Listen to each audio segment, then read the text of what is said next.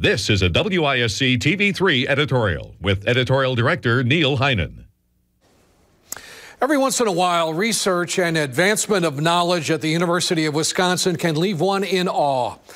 It has again this week with the announcement of the UW led discovery of fossils being described as a new species of human. Crawling through caves with 10 inch passageways in South Africa is the kind of research some politicians question, if not ridicule.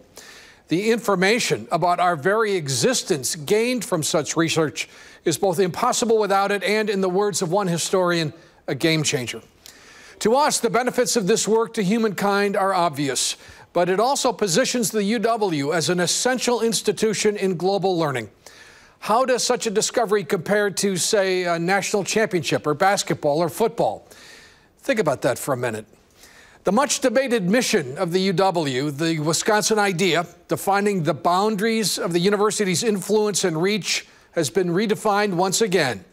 Discoveries like this one render boundaries as truly limitless.